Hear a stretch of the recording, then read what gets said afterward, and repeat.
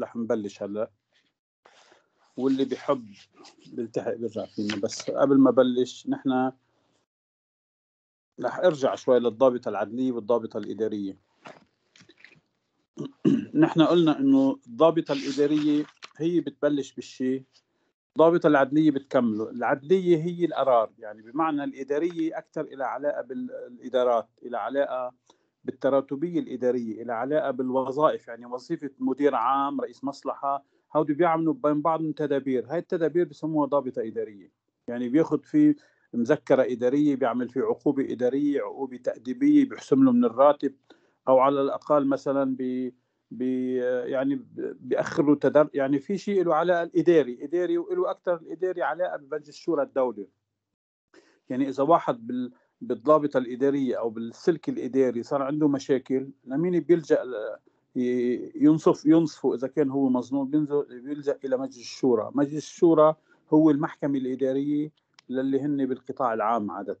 يعني إذا إذا رئيس مصلحة أو مدير عام أو رئيس دائرة حدا شاله من وظيفته تعسفا يعني مجلس وزراء أو وزير أو حدا سلطة أعلى منه بيلجأ لمجلس الشورى مجلس الشورى بيدرس له ملفه اذا كان هو مظلوم بيطلع قرار إنه إعادته إلى مركزه إنه هذا اتخذ بحقه قرار آه، غير آه، صالح. يعني قرار بيكون مش مأخوذ بطريقة صحيحة. عم عم تفهمي علي؟ إيه إيه ماشي الحال ماشي الحال. أوكي أستاذ شكرا. هيدا عم نحكي نحن بال... بال... بالضابطة الإدارية الإدارية. عادة في شيء بيكون مخلوط بين الإداري والعدلي إذا قلنا قوى الأمن الداخلي قوى الأمن الداخلي بتكون بمحل إدارية وبمحل ثاني عدلية. يعني. قوى الأمن بتكون إدارية وقت اللي بتعمل حاجز بتسكر الطريق بتمنع السير بتحول السير بتعمل شغلات للمواطنين بتقمع مظاهرة كذا هذه بنسميها ضابطة إدارية. إنت بتصير ضابطة عدلية القوى الآن بتصير ضابطة عدليه وقت المغفر حدا بيشتكي على حدا بيجي المغفر بيفتح محضر وبيعمل تحقيق. ساعتها بصير هذا الضابط اللي أو الرقيب اللي فتح المحضر هو علاقته ما عادش برئيسه بالضابط اللي اللي هو بيأمره أو بالمسؤول عنه. صارت علاقته علاقته الإدارية فقط مع الضابط ولكن علاقته العدلية صارت مع المدعي العام أو النائب العام وبالتالي بصير هو هون بلش يصير تقريره أو محضر تحقيقه محضر عدلي صرنا رحنا على ضابطة عدلية. الضابطة العدلية هي المحاكم. يعني المدعي العام وللمحقق لقاضي التحقيق لغيره ليطلعوا أحكام. هذا رحنا على الضابطة العدلية. آه، فهمتي الفكرة؟ عم بحكي باختصار الموضوع. يا أستاذ نرجس؟ إيه إيه إيه, okay okay ماشي الحال ماشي الحال. بس أنا مش عم بفهم شو العلاقة يعني ليش التدرج اللي عم يمشي فيه الكتاب؟ آه، بلشنا المبحث الثاني الضمانات القانونيه حكينا عن دور المحاكم والضمانات القانونيه وليش رجعنا حكينا عن الضابطة العدلية؟ مش هي ذاتها نفس الموضوع ونفس المغزى؟ نحن عم نحكي نحن عن محاكم عن إيصال الحق إلى صاحبه. إيصال الحق إيه. إلى صاحبه أحيانا اداريا يعني إذا أنا بالوظيفة حدا تعدى علي مين بينصف لي حقي؟ بروح على المحكمة؟ على الضابطة الإدارية أو على مجلس الشورى الدولي هذا ما محكمة هي. أو ضابط عدليه وقت اللي بكمل التحقيق وبيروح على المتهم على المحكمة ببلش من المغفر عند الضابطه الاداريه بتحول لعدليه بيروح على قاضي التحقيق صار صار ضابطه عدليه يعني عمليا صار راح على المحكمة يعني صار هذا كمان له علاقه بإحقاق الحق. لهسه قلنا هودي لهم علاقه بالشيء اللي عم نقوله نحن موضوع العدالة يعني بمعنى إنه دور المحاكم الضمانات قانونية يعني هي ضمانات قانونية اسمها. وبعدين في شيء نحن ما حكيناه وما فصلناه وقلنا لكم تقروا اللي هو المجلس الدستوري وقلنا لكم تفاصيله بتراجعوا الصفحة 138 بالكتاب. وعندنا المجلس الأعلى لمحاكمة الرؤساء والوزراء كمان بالصفحة 140 بالكتاب. تقروهم لأنه بس واضحين بس مهم تاخذوا فكرة عنهم تقروهم بدنش بنشرح لكم إياهم. هودي مجرد ما عم تقروهم لحتى تعرفوا كيف آلية تعيينه وكيف بيحكم والاكثريه وشو صلاحياته ومع مين بيتعاطى وكذا. واضحين. وبكرة إذا حدا بين معه شيء مش عارفه بتحكوا لي كمان. ماشي؟ أوكي شكرا أستاذ شكرا. اليوم نحن بدنا ننتقل على الفصل الثالث اليوم اللي هو الحقوق الاجتماعية والعدالة الاقتصادية. يعني نحن كنا عم نحكي نحن هلأ نحن وقت كنا بالفصل الثاني إذا بتذكرين. شو كنا عم نحكي نحن؟ بالحقوق شو كنا عم نحكي نحن هلأ؟ قبل بالدرس اللي قبل. كنا عم نحكي نحن بشيء ثاني له علاقة مثلا بمبادئ معينة غير يعني كل مرة عم نحكي عن شيء المرة الماضية نحن كنا عم نحكي عن شيء له علاقة بغير الموضوع اليوم. يعني حكينا بدولة الحريات السياسية وضمانات قانونية. حريات سياسية قلنا حرية رأي وحرية تعبير. ومبدأ فصل السلطات وغيره. ورحنا على الضمانات القانونية فتنا على دور المحاكم ووظيفة المحاكم ورحنا على الضابطة الإدارية والضابطة العدلية واضح. هلا اليوم بدنا نكمل بنفس السياق ولكن عم نتطور أكثر باتجاه الحقوق الاجتماعية. عندنا اليوم فإذا الفصل تبعنا اليوم الثالث اللي هو بالصفحة 60 حقوق اجتماعية عدالة اقتصادية. شو يعني حقوق اجتماعية وشو يعني عدالة اقتصادية؟ هول بدنا نشرحهم اليوم لنقول إنه النشاطات الاقتصادية بدها عناصر عدة. يعني يعني لحتى واحد يقدر يقوم بالاقتصاد بشكل كامل وتام ويقوم بالدور المطلوب بده يكون عنده مأمن له ركائز بعمله. منها أول شيء بده يكون حرية اقتصاد يعني في حق ملكية حق فردي ممارسة حرية تجارة حرية صناعة. العمل بده يكون له مرتكزات وضوابط. فإذا بده يكون مستلزمات العامل له حقوق وعليه واجبات آه، بده يتأمن له مسكن ملبس آه، عناية طبية بده خدمات. كلهم هودين بنسميهم بيدخلوا بباب الحقوق الاجتماعية.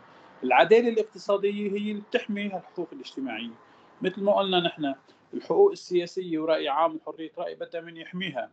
يعني حتى ما يتعسفوا بمنعه أو إذا واحد استعمل حقه بالسياسي أكثر بدنا نروح على القضاء لحتى نوقفه عند حده. فإذا اليوم نحن عندنا مبحثين. مبحث أول هو حقوق اجتماعية. ورح أحكي سريعا شو يعني حقوق اجتماعية. بناخذهم تطرقنا لهم هلأ شوي. هو العمل. شو يعني حقنا إنه نشتغل؟ وحقنا بالشغل يكون دائم. مش إنه والله أنا عم بشتغل وكل يوم صاحب العمل ساعة بده بفللني حقي إني أضرب حقي أعمل نقابات لحتى تحمي لي حقي. كمان حقي بالعمل إنه هذا العمل يكون دائم. مش إنه والله أنا مثل اللي يعني قاعد على ظهر الضبع. يعني ساعة اللي بده صاحب العمل بيقلعني من الشغل أو بيعطيني معاش مثل ما بده. لا حق بإنشاء النقابات. هذا مطلب. المطلب الثاني بالحقوق الاجتماعية هو إنه حقي إنه يتأمن لي ضمان صحي إنه بدي أتعالج أتحكم. بالتالي لحتى ما أمرض بدي حقي بغذاء صحيح حقي بسكن. كمان هودين مطلوبين المبحث الأول اللي هو حقوق اجتماعية. المبحث الثاني اللي هي العدالة الاقتصادية. شو يعني العدالة الاقتصادية على مستوى العام؟ يعني النظام الرأسمالي الحر بده عدالة وإلا بصير محتكر وجشع وبالتالي بصير طبقة اغنياء على الحل وبطل الفقير له محل. لهالسبب مطلوب يكون عندي بالعدالة الاقتصادية مساواه وعداله وبده يكون عندي أهمية إنه يكون القوة والاقتصاد. أهمية آه، القوة والاقتصاد لما يعطي الدولة اللي بتعتمد هالنظام من مرتكزات يثبت لها وضعها يعني تقدم اقتصادي تقدم ثقافي كلهم هودي بيعطوا ممارسة صحية سليمة لمبدأ القوة آه، بالنسبة للعداله الاقتصاديه هذا باختصار. رح نبلش هلأ بالتفصيل. هذا عنده شيء سؤال أو استفسار أو قبل ما بلش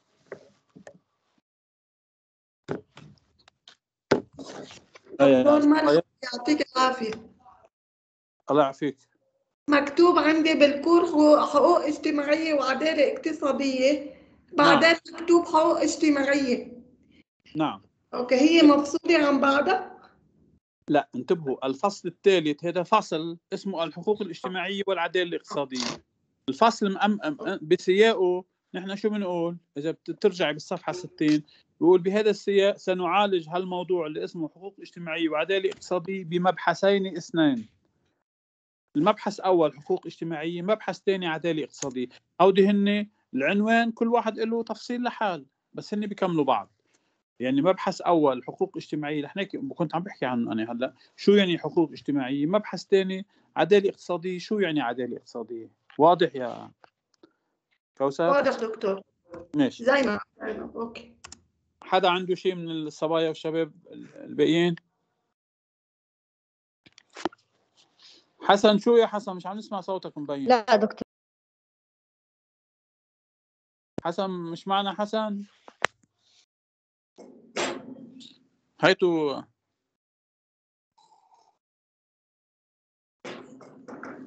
طيب نحن رح نكمل فاذا حقوق اجتماعية. بالنسبة للحقوق الاجتماعية شو المقصود بالحقوق الاجتماعية؟ الحقوق الاجتماعية يعني الضمانات اللي هي السماح للمجتمع المدني والأهلي بانشاء جمعيات حقوقية اجتماعية نقابية. الهدف من هذه الجمعيات تحمي هذا الحق وبالتالي بتكون هي لها الدور بتأمين العدالة من خلال حق آه، الأساسي للمواطن للفرد بما يعني حقوق الإنسان بشكل جماعي. من هون بهالحق الاجتماعي بهالمبحث اللي له علاقة بالحق الاجتماعي رح نقسمه نحن لمطلبين يعني فقرتين. مطلب أول حق بالعمل وديمومته. وضمانات هالحق وحق بالاضراب وإنشاء النقبة. فإذا بالمطلب الأول عندي حق بالعمل وديمومته وضماناته. وعندي بالمطلب الثاني الحق بالاضراب وإنشاء النقابات فإذا نحن بناخذ عنوان عام عريض وبنفرعه تكونوا عم تنتبهوا معي وقت تكون عم نشرحه وأنتم عم تقروا الكتاب مبوب مفصل بشكل إنه يعطي توازن فيه. فإذا قلنا الضمانات الاجتماعية هي اللي بتأمن للمجتمع عدالته وحقوقه من خلال المجتمع مدني وأهلي وغيره. شو اللي بيأمن له هالعدالة؟ هي الجمعيات الحقوقية والاجتماعية والنقابية وغيرها. من هون أهمية العمل. يعني العمل أنا عم بشتغل أنا موظف كل إنسان حقه أنه يكون عنده عمل حقه أنه يشتغل لحتى يأمن أجر وبالتالي لحتى يقدر يعيش. يعني ما في إنسان يعيش وهو عاطل عن العمل منين بيعيش. في بعض الدول هي بتأمن للمواطنين بدل معيشي يعني تأمن لهم مثل راتب ليعيشوا بانتظار تأمن لهم فرص عمل. بس إذا ما في إذا بس يصير عنده فرصة عمل بتوقف عنه الراتب. هودي الدول تحترم حالها عندنا للأسف وبدول العالم الثالث والدول الفقيرة والدول النامية والمتخلفة واللي شو ما بدكم بتسموها بعدنا الواقع مختلف ومن هون ببلش أكثر إنه يكون عندنا إمكانية إنه نعمل تجمعات. التجمع بيعطي جماعة يد الله مع الجماعة لحتى نقدر ناخذ حقوقنا من خلال التكتل. يعني مثلا اليوم اليوم بلبنان في إضراب لنقابات السواقين.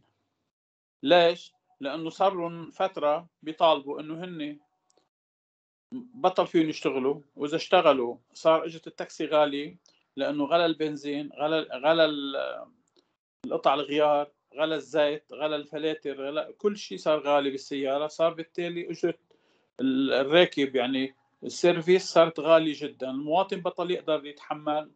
والسائق يعني صار مش عم بيلاقي شغل أساسي. وإذا اشتغل بده يشتغل مش كتير بيربح مش عم يكفي عائلته. عم يضطروا اليوم مثلا يعملوا قطع طرقات ومدري شو تعبير عن رأي. مين؟ إذا واحد لحاله كل مواطن لحاله ما في يعمل شيء. هن عاملين نقابة. هالنقابة بتصير عمل جماعي بتحميهم وبتصير الدولة تحترم رأي الجماعة لأنه بالتالي ما فيها تحبس واحد أو اثنين قطع طريق. بس وقت تكون على مستوى البلد أبعش فيهم يقوموا بإعقابهم. بصير العقاب الجماعي بصير يؤدي إلى كمان انتقاص من حقوق الإنسان. لهالسبب اجت مسألة النقابات والجمعيات والجمعيات المجتمع الأهلي والمدني وغيره كلها لحتى تأمن هذا الحق. هذا الحق الفردي للإنسان هو الحق اللصيق بكل إنسان وبالتالي لأنه مثل ما حكينا سابقا الدستور اللبناني التزم بمقدمته بالإعلان العالمي لحقوق الإنسان. اللي دائما بنقول لكم عنه الإعلان العالمي لحقوق الإنسان بالمادة 23 هالإعلان شو إجا؟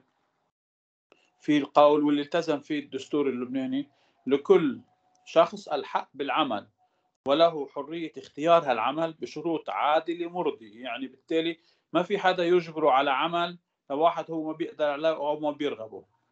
كما أنه له الحق في أن يكون مقابل هالعمل في معاش في أجر. هذا الأجر بده يكون كافي ووافي على الأقل لحتى يقدر يعيش بكرامة لائقة هو وأسرته. وهذا ضمنته القوانين الدستور اللبناني والتزم بالإعلان العالمي لحقوق الإنسان. ومن هون بنلاحظ المعنى القانوني. أصبح أصبح هذا الالتزام هو التزام قانوني على الدستور اللبناني يعني على الدولة اللبنانية يعني على الأجهزة اللبنانية أنه تحميه وبالتالي هذا صار وزارة العمل مثلا هي السلطة المخولة اللي بتحمي العمال وبتراقب لهم حقهم وبتمنع حدا يتعدى عليهم. وبالتالي أصبح آه، العمل تبع أي شخص بيشتغل فيه له قيمة وبالتالي ما بيعود صاحب العمل هو بيقدر ينال منه بدون وجه حق. صار ما في يحرمه من حقه من أجرته من طبابته من كل المستلزمات العيشة الكريمة. كمان بالإضافة لهذا عندنا قصة الديمومة إنه هذا العمل إنه يصير العمل مش مؤقت مش يومي مش فردي وإلا بيكون في بعد تعسف. العمل لحتى يكون المواطن مستقر بحياته بده يكون عمله دائم. العمل الدائم يعني بده يصير مثبت إذا كان بالدولة بملاك الدولة وإذا بيكون بقطاع خاص بده بده يصير عنده تثبيت. يعني ما فيهم تثبيت يعني أو بالملاك يعني بطل في مما بده بيشيله وبيحطه صار له آه، القانون بيحميه. ومن هون إجت الدولة تطبق القوانين لتحمي هذه القواعد. هذا الاضافه لهالموضوع شو اللي بيحميه؟ اجى حق الإضراب فإذا له حق انه يضرب يعمل ضغط مثل ما عم نقول اليوم السواقين مضربين يقطعوا الطرقات كذا غير حدا بينزل على الشارع بيعمل مظاهرة. فإذا الحق بالإضراب هو حق كمان بالقانون لأنه بالتالي هذا الحق الفردي بشكل جماعي. يعني هو الحق لتأمين الأفراد للأفراد حقوقهم من خلال وسيلة اجتماعية جماعية بتطالب بحقوقهم. رغم إنه بلبنان يعني هذه ملاحظة. بالقطاع الدولي الرسمي ممنوع يكون في إضراب لأنه بال بالقانون اللبناني كل واحد بينقطع عن عمله. 15 يوم بشكل آه، متواصل يفصل من عمله. يعني بالقانون بحكم القانون في إذا واحد انقطع عن عمله لحاله عن 15 يوم عمليا في الدولة تكبه برات العمل وبصير هو مقطوع عن العمل وبالتالي وكأنه آه، صبح خارج العمل. هذا بالشكل. هلأ بالمبدأ ما عم يتطبق لأنه رحنا على الوسيلة الجماعية اللي هي النقابة التعاونية أو اللي هو صار عندنا قطاع مثل ما بنلاحظ إنه هلأ نقابات. مثلا بالمعلمين عملوا رابطة ما فيهم يعملوا نقابة للمعلمين لأنه هن بالقطاع العام ما في نقابات. عملوا رابطة يعني احتالوا على القانون لحتى يعملوا تجمع. الرابطة يعني النقابة عادة بتكون بالقطاع الخاص. نقابة المعلمين بالقطاع الخاص. بينما بالقطاع الرسمي عندنا شيء اسمه رابطة. الرابطة هي مصطلح اتفق عليها لتحميهم للجماعة لأنه ممنوع عندهم الإضراب. ك اللي هن بالقطاع العام. ومن هون بنلاحظ إنه أهمية قوة الضغط لها فعالية وتاثير بالتالي لتأمين هاي الحقوق اللي بكون مشلحين اياها هلأ بالنسبة للتنظيم النيابي عندنا المادتين 83 و 84 من قانون العمل. بتنص على إنه في كل فئة من فئات المهن يحق للأجراء أن يؤلفوا نقابه خاصة بهم. على أن تنحصر غايتها في الأمور اللي من شأنها حماية المهنة وتشجيعها ورفع مستواها والدفاع عن مصالحها والعمل على تقدمها من جميع الوجوه الاقتصادية والصناعية والتجارية. هذا قانون العمل بس هذا أكثر له علاقة بتنظيم المهن بالقطاع الخاص. من الملاحظ كمان إنه قانون العمل ربط غاية النقابة بالمهنة يعني ما ربط النقابة بالشخص يعني ربط إنه رابطة العاملين مثلا نقابة مصالح المياه نقابة عمال الكهرباء نقابة كذا مش مش نقابة هن بيخترعوها عامة لكل الموظفين لا. كل المهنه كل مهنة لها نقابة لحال. هذا الهدف من هاي النقابات هي رفع المستوى للمواطنين ومحافظة على معاشاتهم وعلى مصالحهم وعلى مكتسباتهم. بالنسبة للعاملين بالمصالح المستقلة والمؤسسات العامة فهن عادة عندهم هامش أكبر. مثل ما قلنا القطاع العام يعني بالدولة موظفي الدولة ما عندهم هامش كبير لحتى يتحركوا ضمن إضرابات ونقابات. لكن هلأ فلتين البلد عندنا بس بالأصل مثل ما قلنا نحن إذا واحد بيضرب بدون وجه حق وبالانفار ب 15 يوم بكبوا برا الشغل تبعه. النقابات بتتوتع بالقطاع العام اللي له علاقة بالمصالح، المصالح المستقلة والمؤسسات العامة غير الدولة، يعني وقت نقول نحن ملاكات الدولة يعني وزارة التربية هودن. بس وقت بقول أنا وزارة التربية وزارة العمل وزارة الاقتصاد وزارة الثقافة أي وزارة هاو بنسميهم ملكات الإدارة العامة. بس وقت بقول أنا مصالح المياه مصالح مصالح الكهرباء يعني كل مؤسسة إلها كل مؤسسة إلها مجلس إدارة. يعني بطلت خاضعه للوزير مباشرة. هاي بصير إلها مجلس إدارة. فبالتالي هي مجلس الإدارة هو السلطة الأساسية تبعها. يمكن يكون الوزير له سلطة وصاية عليهم ولكن هن مش خاضعين للوزير. لهالسبب فيني أقول أنا مصالح المياه مصالح تبع عمال المياه والكهرباء النقل المشترك النقل العام السكك الحديد. هالقطاعات هذه حتى مثلا مجلس الماء والأعمار مجلس الجنوب هالمجالس كمان المنبثقة كلها هذه مصالح مستقلة وبالتالي هي إلى صفة عامة ولكن هي مصالح مستقلة إلى مجالس إدارة. لأن إلى مجالس إدارة صار عندها هامش أكبر بالتحرك. عم تفهموا علي؟ بس يمكن عم عم بستعجل شوي بس إنه لحتى صبايا. شباب.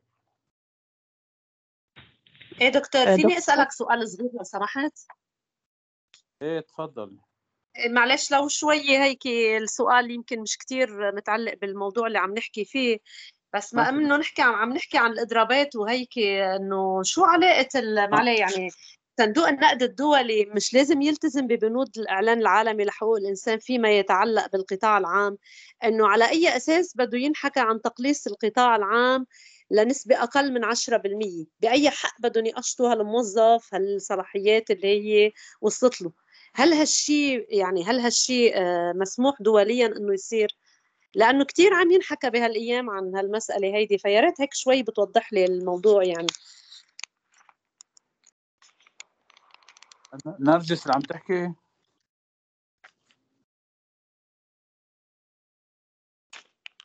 ألو. إيه إيه عم بسمعك أستاذ دكتور. ألو. إيه.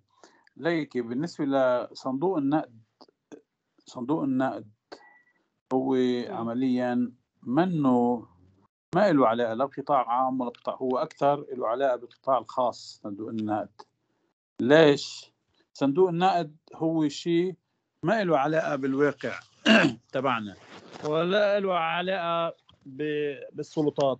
صندوق النقد هو مجموعة مجموعة صندوق يمكن تابع لل قريب من الأمم المتحدة ولكن بتسيطر عليه الولايات المتحدة.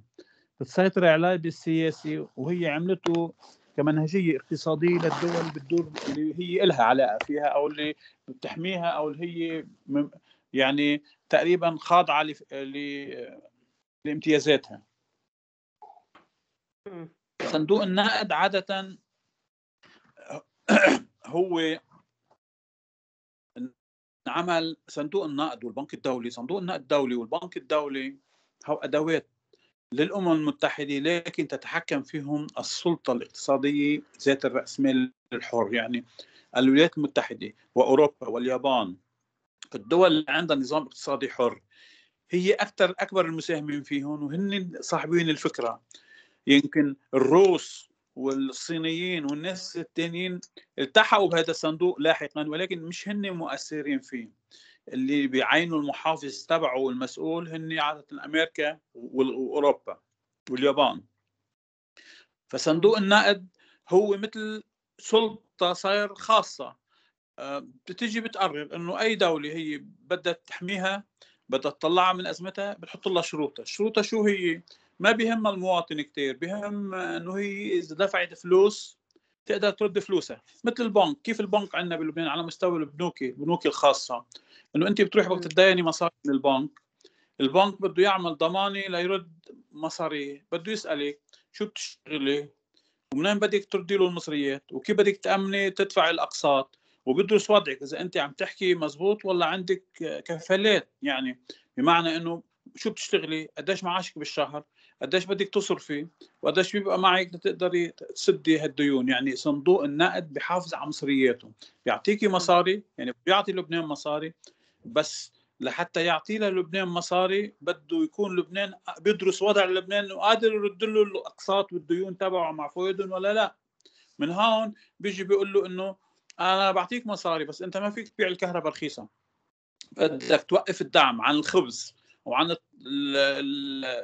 المحروقات وعن الكهرباء وعن كل هيدي المواد الأساسية للناس لأنه أنت إذا بدك تدعمهم ما بدك تجيب مصاري.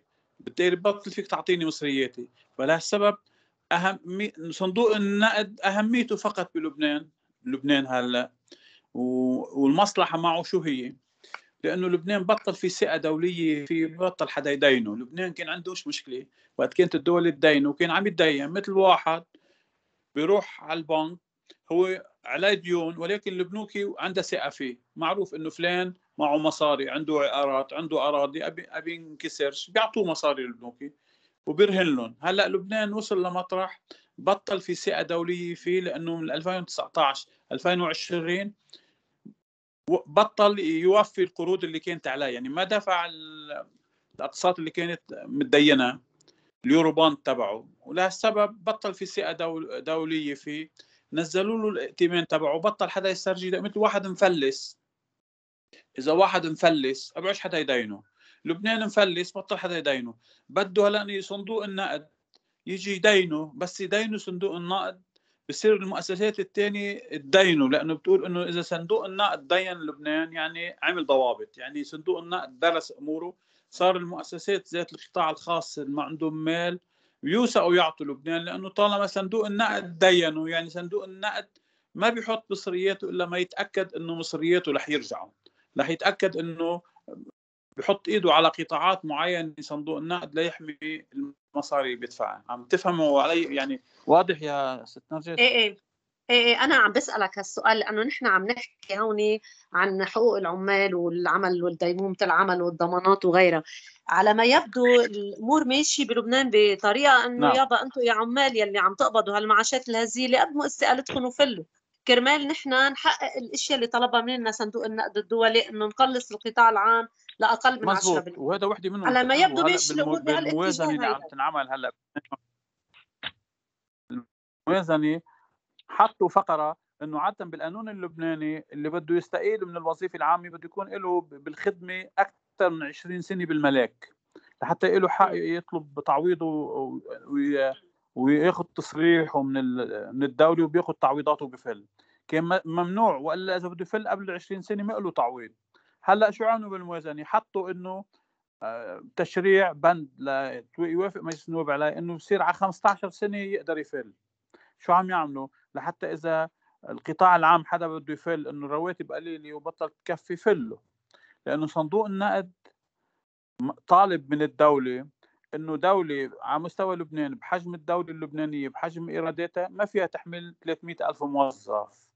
بدهم ينزلوهم لحساب هن عم يسهلوا هالطريق لحتى إذا بفل قسم كبير من ال... من القطاع العام لحتى لأنه صندوق النقد عم بيقول لهم بدكم توقفوا الدعم وهن وقفوا كل شيء. يعني بلبنان بالزمان كان صندوق النقد كان يقول ممنوع يندعم البنزين ممنوع يندعم المحروقات ممنوع يندعم الأدوية ممنوع يندعم شيء.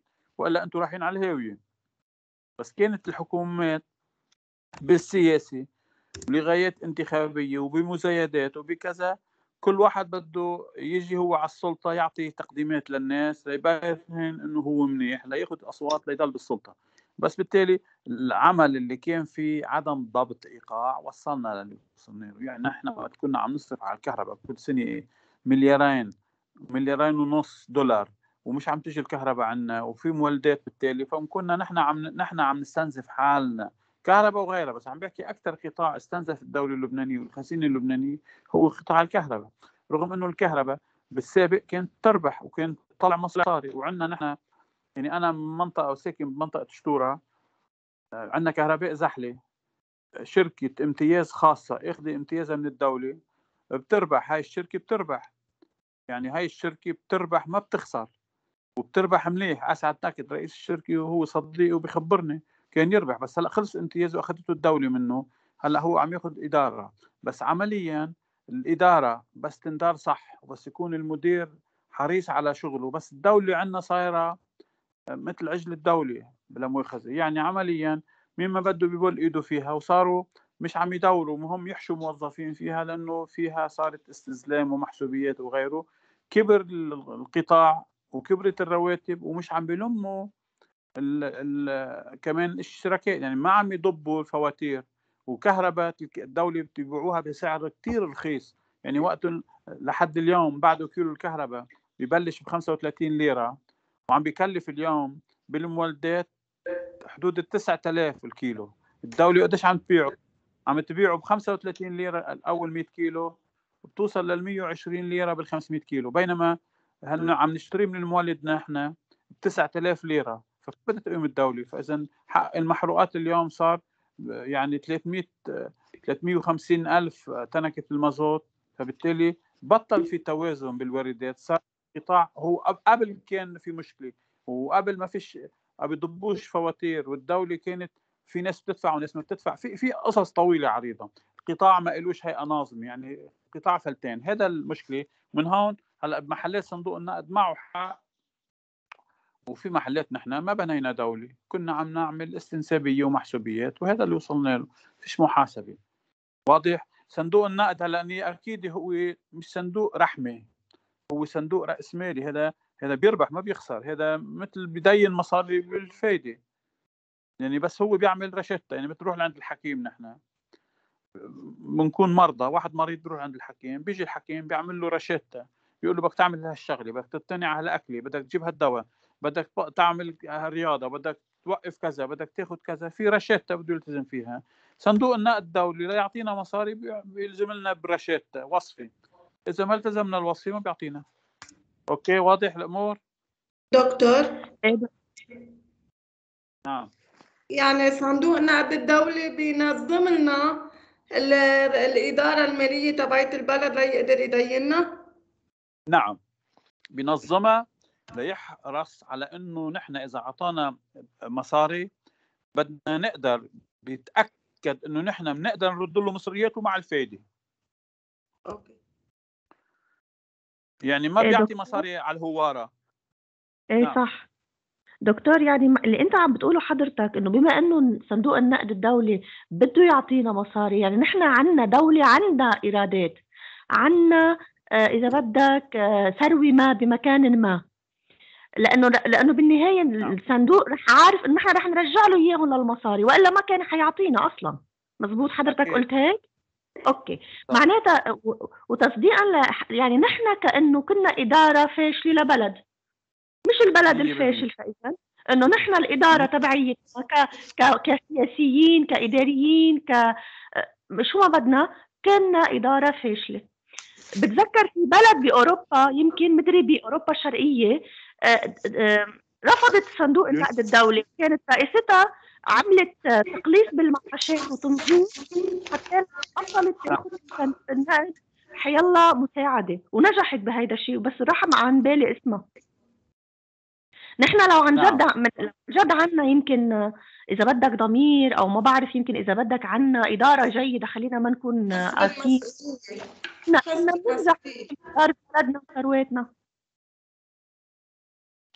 إيه ليكي بلبنان لبنان بلد مش مفلس لبنان بلد غني.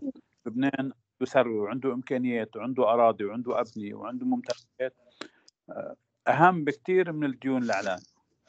لكن نحن عندنا سوء إدارة عندنا نظام سياسي فاسد عندنا نظام اقتصادي مش واضح. كيف النظام السياسي؟ نحن عندنا خربان النظام الاقتصادي لاحقه لأنه نحن مثل ما بيقولوا مثل ما بيقولوا الكنيسة الخربانة من القسيس أو العكس ما بعرف كيف. يعني بالتالي بس يكون عندنا إدارة صحيحة نحن بصير عندنا نظام صحيح بيخلق عندنا آه، إنتاجية. نحن عندنا مشكلة قائمة بإدارة البلد. يعني هلأ بتطلع اني إنه بشوف إنه كان كل ما إجت يعني حكومه أو حدا دار البلد بهمه هو يبين مليح ومش فارقة معه إذا ركب ديون ولا لا. كانوا معتبرين بالسابق وهي القطب الأخطر انه نحن الشرق الأوسط رايح على السلام وعلى مفاوضات سلام. وبالتالي قديش عليك ديون؟ معلش بكرة رح يصير السلام وبيسامحوك بالديون. الأمم المتحدة والدول الغنية بتدفع عنا وبالتالي بيكون كل واحد شو عمل صفقات واستفاد منها أخذها سحطان على قلبه. هيك كان الجو.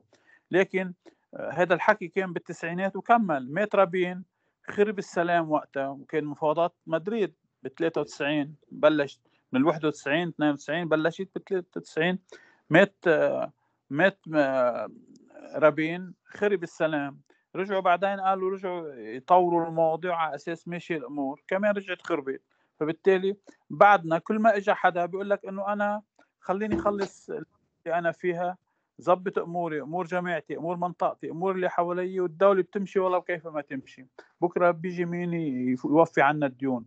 عملوا لنا باريس واحد باريس اثنين باريس ثلاثة عملوا صدر على أساس بيعطونا كم مليار ندفش لقدام مثل واحد غرقان بالديون بيجوا بيدينوه. بيرجع بي بيصرف المصريات قطع وقت. نحن كنا عم نشتغل هيك ما عم نبني دولة ما عم نبني سلطة حقيقية لها علاقة بإدارة نظيفة. نحن هيدي المشكلة تبعنا الطائفية مع المذهبية مع النظام السياسي مع النظام الاقتصادي كله معركش على بعضه ووصلنا اللي نحن فيه. لا سبب في أزمة. هلأ نحن واقعين بس الدولة أملاك أملاك السكك الحديد بلبنان لحالها بتوفي كل الدين. لبنان دولة مش مفلسة و... ولبنان عنده إمكانيات. لبنان بتعرفوا إنه ثاني دولة بالعالم العربي يمتلك الذهب. عن الذهب 100% عندنا عندنا نحن 9 ملايين اونصه ذهب يعني بحدود 18 مليار دولار ذهب. عندنا نحن إمكانيات كثير مهمة بلبنان بس بدها إدارة صحيحة. على كل الأحوال نحن ما نستهلكش الموضوع. بالواقع عندنا نحن مشكلة المواطن والفرد. اليوم نحن عم نحكي بحقوق اجتماعية يعني عم نحكي بالعمل. العامل حقوق العامل. حقوق العامل تضمن له إياها الدولة إن كان بالقطاع العام أو القطاع الخاص. حقوق العامل يعني له حق يضرب له حق يعمل نقابه له حق يكون عمله ضمن ضوابط. يعني بمعنى بياخذ أجر الاجر بيكون محترم بيكون له آه، الراتب بده يكون الراتب تبعه كمان يقدر يكفيه مثل كيف هلأ عم بتقول إنه صندوق النقد ما بيديننا إلا ليتأكد؟ هلأ أنا إذا رحت بدي أخذ قرض من الإسكان مثلا. شو بيقولوا لي بالإسكان؟ شو عندك أنت؟ منين بدك تجيب مصاري؟ بيدرسوا وضعي. بيدرسوا وضعي. إذا أنا بقبض قديش بقبض وقديش بطلع وقديش بصرف وبالتالي بيشوفوا شو بيعطوني. لأنه ما بيعطوني هيك على الهواره بدهم يعطوني ليضمنوا كل مؤسسة كل مؤسسة محترمة بدها تحافظ على مالها وبدها تطور مالها ما بتكبش مصاري. نح... بلبنان لا بلبنان كان تنعطى سلفات الخزينة لقطاعات بالدولة مفلسه بتطل فيها ترد. لهسه هلا بلاحظ إنه بالكهرباء لحاله عندنا أكثر من 20 مليار معطى سلفات خزينة على 20 30 سنة. تعطي يعني سلفه خزينة بتعطيها إياها الدولة للمؤسسة لتردها. بس ما حدا عم بيرد. طيب كيف تبقى الدولة بتنهار الدولة؟ من هون بنلاحظ في حق الدولة بدها تحمي الإنسان والمواطن من البطالة بتحمي له تضمن له حقه يكون هو عم ينضم لنقابات عمالية. بده يكون حقه بالراحة حقه يعني بالغذاء بفرصة هو عم يشتغل. يعني بتنظم أحوال العامل. حقه بإنشاء النقابات كمان. النقابة ليش بيعملوا نقابة؟ النقابة ليصير عمل جماعي. هذا حق بالقانون. إنه نحن إذا كنا بنفرق عمال بيجي رب العمل بفلت بفللنا واحد والثاني أو بيعطينا معاش هو بيلاقي مناسب. مش نحن بيناسبناش وقت نكون نحن مجموعة وفي ضوابط وفي قانون وبيحمي عملنا ساعتها أبعش في أبعش في هذا بصير في قانون عمل جماعي. بتصير العملية النقابات العمالية هي مثل الاتحاد العمالي العام مثلا أو وزارة العمل اللي هي بالتنسيق مع الاتحاد العمالي العام بدها تحمي العمال. في في محكمة عمالية يعني في محكمة عمليا للعمال إذا حدا اشتكى لأنه بالتالي بتحميهم هذا كلهم موجودين بالقانون وهو الحق هو حق نقابي لحتى يسهلوا للإنسان حياته بطريقة صحيحة وتكون بحمى القانون. ومن هون قانون العمل شرع تأسيس النقابات المهنية لأنه بالتالي هي بتحمي هي بتسهل وهي بتخلي هذا الحق يضل موجود ومحافظ عليه. فإذا حرية النقابة كمان فإذا العمل النقابي بحريته إلى وجهين. حرية الانتساب إنه أنا حق لي أنا كعامل إنه انتسب للنقابات وحر حق إني ما انتسبش. إذا أنا مش عايز النقابه بديش حدا يحميني ما بنتسب. اللي بيلاقي حاله هو كاد يستضعف الدولة تستضعفه أو صاحب العمل يستضعفه بينتسب للنقابة لحتى بالتالي النقابة تحميه. وهذا مكرس بموجب المادة 90 من قانون العمل اللي بتقول إنه لكل أجير حر بإنه ينتسب أو ما ينتسب للنقابة كمان المادة 97 من قانون العمل بتقول لكل عضو أن يستقيل من النقابة حقه يكون منتسب لنقابه أو مش منتسب أو انتسب واستقال وبالتالي مهم ما في يستقيل ويفل قبل ما يكون برا ذمته يعني ما يكونش مديون للصندوق المالية. بالبند الثالث عندنا النقابات عندنا فيها تعددية. يعني نقابه مثل ما قلنا نقابه لعمال الكهرباء نقابه لعمال الماء نقابه لعمال التليفون نقابه لعمال كل قطاعات وكل نقابة عندها مجالها بالشغل.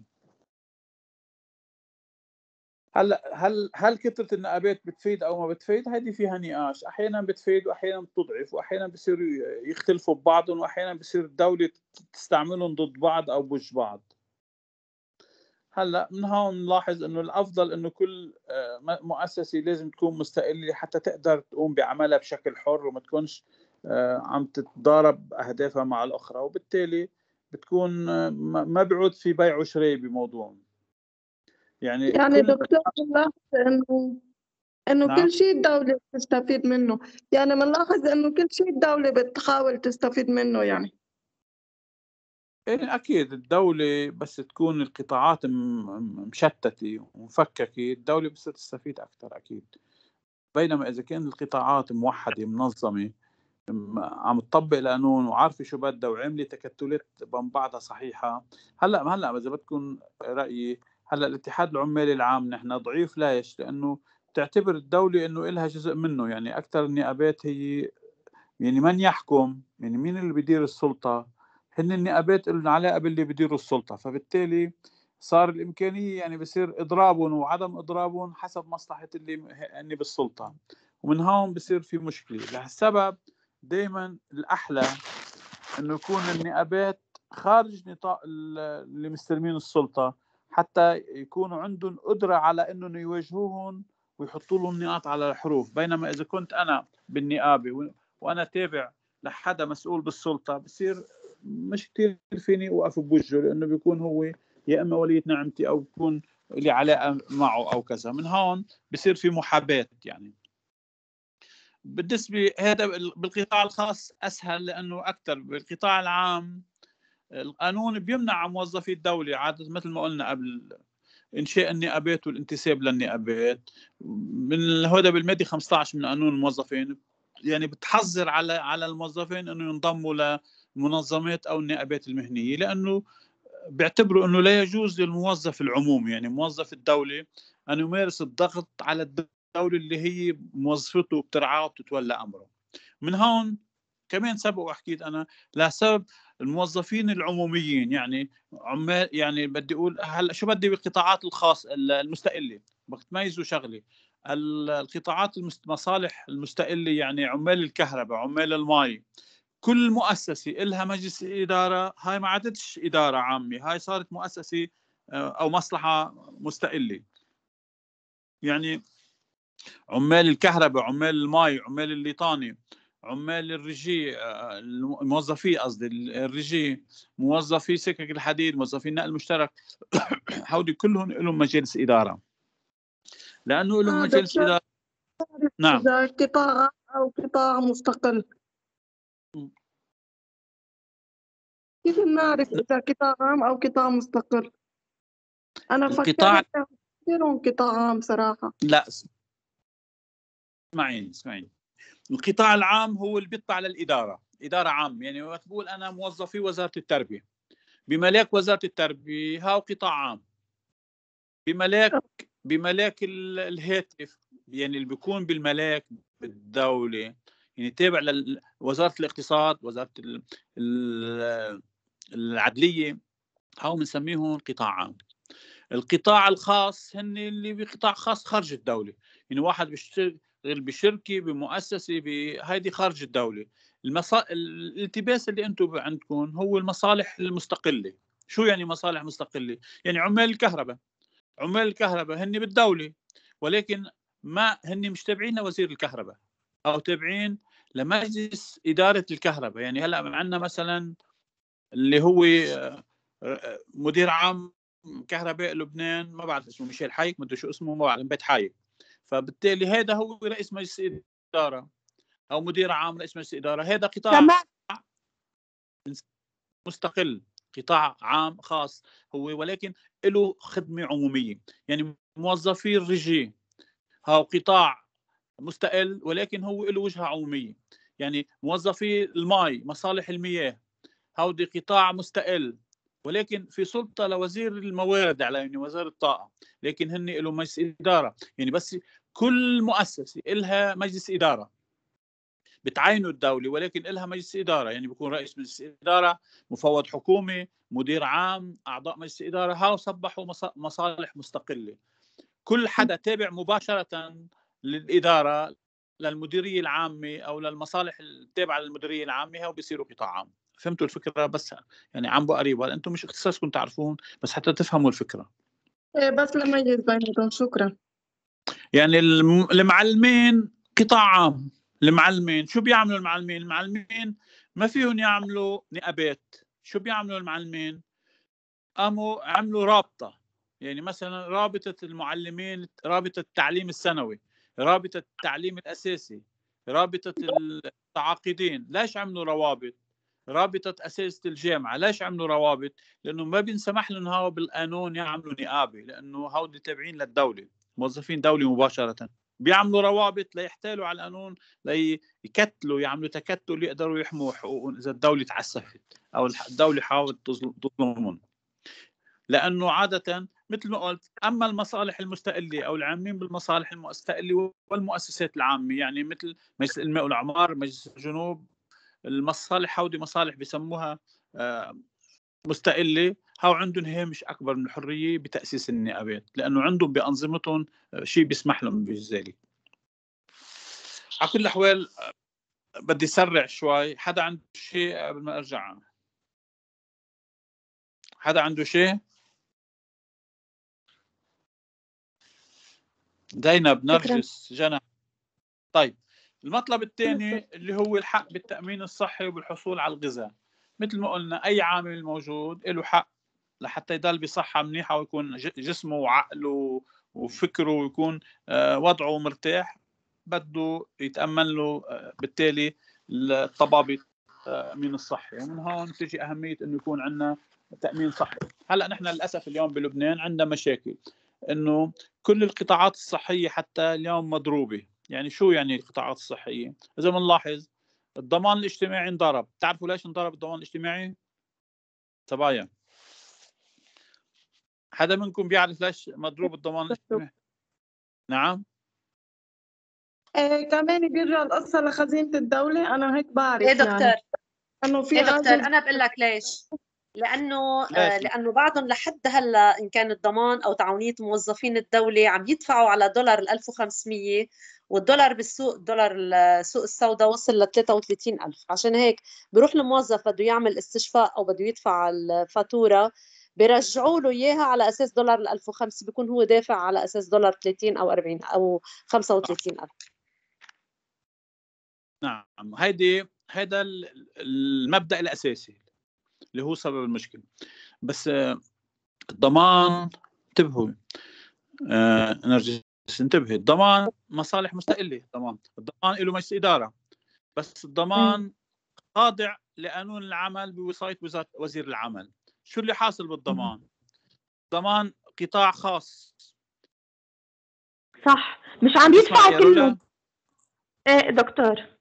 نعم. عم يدفعوا كل القطاع الخاص. الشركات بالقطاع الخاص مش كلها عم تدفع كمان حسب ما عرفت مش بس القطاع الخاص. عم بيقطش خطك ولا آه okay إيه، okay دكتور. عم بيقطع خطك بس. بس الضمان الدولة كل الموظفين بالدولة في كتير موظفين الدولة خاضعين لنظام الضمان يعني هي بتدخلهم بالضمان. بس شو عم تعمل الدولة؟ مش عم تدفع عليهم للضمان الاشتراكات. عليهم اشتراكات نسبة 17% حسب نسبة قديش نسبة الاشتراكات حسب الراتب. يعني الحد الأدنى للأجور قديش ونسبة الحد الأدنى للأجور في نسبة مئوية بده يدفعوهم عن الزوجة وعن الأطفال وعن الشخص المضمون. بالنسبة للاستشفاء ولنهاية الخدمة ولا ضمان يعني اللاحق الصحي فهودي كلهم لهم نسب من الرواتب. القطاع العام الدولة بتدفع عنهم. الدولة لحد هلأ مديونة مديونة ب 5000 مليار 5000 مليار للضمان. يعني الضمان له مع الدولة 5000 مليار. كانوا 5000 مليار قبل ما يتغير سعر الدولار وهو كلهم قدماء يعني بحدود 3 مليارات ونص دولار 3 مليار 3 مليار ونص دولار هودي ديون الدولة على آه، ديون الضمان على الدولة الضمان كان بيعتبر إنه هاو المبلغ لحالهم هن أكبر رأس مال عنده ليعطي تعويضات ويدفع لأنه كانوا قيمتهم بالدولار. وقت اللي انهار قيمة الدولار ليرة قياسا للدولار صاروا ال 5000 مليار تبعه بطلوا. بطلوا يسووا اليوم 100 مليون دولار أو 200 مليون دولار. بينما قديش كانوا هن يا صبايا وشباب؟ كانوا 3 مليار ونص دولار. لهسه بطل الضمان في اليوم يدفع. عم بحكي لكم هو على القطاع العام. أضف إنه هلأ الموازنة بالدولة مش مسموح بالموازنة إلا إنه يسعروا على دولار ب 1500 هلأ بطل حدا يقدر يدفع حق الدواء على دولار 1500 للصيدليه ولا لشركه الأدوية ولا المستشفى ولا العملية بعد فيهم تقبل المستشفى إنه تعمل معالجات طبية وتحسب الدولار على 1005 لأنه صارت مش طبيعية الحكومة بتنهار. أي مؤسسة بدها تشتغل على 1005 وهي عم تدفع بالفريش دولار كان ب 30 أو هلأ ب 20 أو ب 25 وبالتالي في فارق كثير كبير 20 مرة. هذا الأزمة وصلنا لمحل تعاونية الموظفين إلى بالموازنة نسبة مئوية كمان بالليرة اللبناني كمان قياسا على الدولار مش بس تعاضد الجيش كل حتى المؤسسات الضامنة حتى الشركات الخاصة اللي بتاخذ كانت بتحسب للمضمونين أو اللي بينتسبوا لها كقطاع ضمان تأمين صحي على 1500 ما عاد فيها تعالج. حتى تامين السيارات اليوم الحوادث والتوريسك وغيره كله ما عادش يمشي بهي الطريقة لأنه بدها الدولة تغير نطاق موضوع الدولار الجمركي والدولار اللي هو سوق السوداء. يعني بده يصير توحيد. يعني ما فيها تمشي الدولة صبايا. وحسن ما بعرف إذا معنا غير حسن نحن وإبراهيم. فما فيها تمشي الدولة والدولار عندنا أربع خمس تسعيرات. دولار 1005 دولار 3900 دولار 8000 دولار صيرفي دولار سعر سوق سوداء دولار كيف بتمشي ما بتمشي الدولة هاي. وبعده عندنا بالنظام العام بالقانون العام عندنا بعده إنه الدولار 1500 هذا المشكلة اللي وصلنا اللي نحن فيه. ومن هون صار في عندي كل هالخلل القائم وبطل في التزامات وبطل حدا يقدر يلتزم بهذا الجانب وصار المواطن ضحية. كنا نحن مضمونين بنسبة 90% صار اليوم بالكاد الضمان بيدفع 10% والمواطن بده يدفع 90% ومنين بده يجيبوا ال 90% بالوقت اللي معاشه معاشه اليوم بالكاد يقدر يكفيه يومين أو ثلاثة. ومن هون وقعنا بأزمة كنا بأزمة بس إلى علاقه بالسكن وبالغذاء وصرنا بالصحة وصرنا بقصص ثانية طويلة عريضة ومن هون بلش ينخفض مستوى الدخل وبلشنا نروح على الأزمات الاقتصادية وبلشنا نشوف الدول اللي هي كنا نحن ننتقد.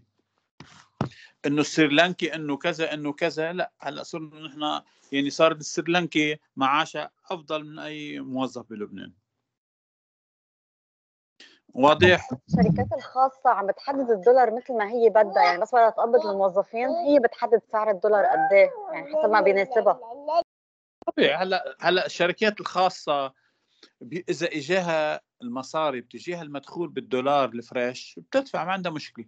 بس الدولة الدولار عندها بعده 1500 من هون الأزمة. في أزمة. لا الدولة قادر تدفع على على الدولار الفريش لأنه عم تجبي على ما مشكلة الدولة وين اليوم؟ بعدنا عم نحكي إنه بياخذوا الكهرباء بعضهم بيحسبوه على ال 1500 بيح... كل الدولة بمداخيلها بتاخذ الدولار الجمركي بعد على 1500 بتاخذ الضريبة بتاخذ بوزارة المالية بتاخذ كله على 1500 بطل في عندها تحصيل مالي جبايات مالية. فانهارت الدولة. هذا اللي حصل. لهسه هلا هلا واعيين بالأزمة. هلا بمناقشة الموازنه إذا بتلاحظوا صاروا أسبوع بيهربوا من الدولار الجمركي. يعني قديش بده يحددوا الجمارك؟ لأنه الدولار الجمركي بيحدد قديش الدولار بده يصير يعتمد بكل الدولة. ولهد هلأ مش عم يقدروا إنه كيف بيحددوا هن الدولار الجمركي؟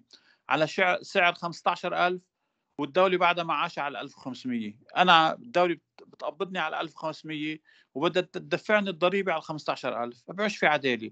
لنا الدولة قادرة ترفع لي راتبي ولنا قادرة تكمل بدون ما تاخذ الضريبه على على 1000 على ال 15000 هذا ال...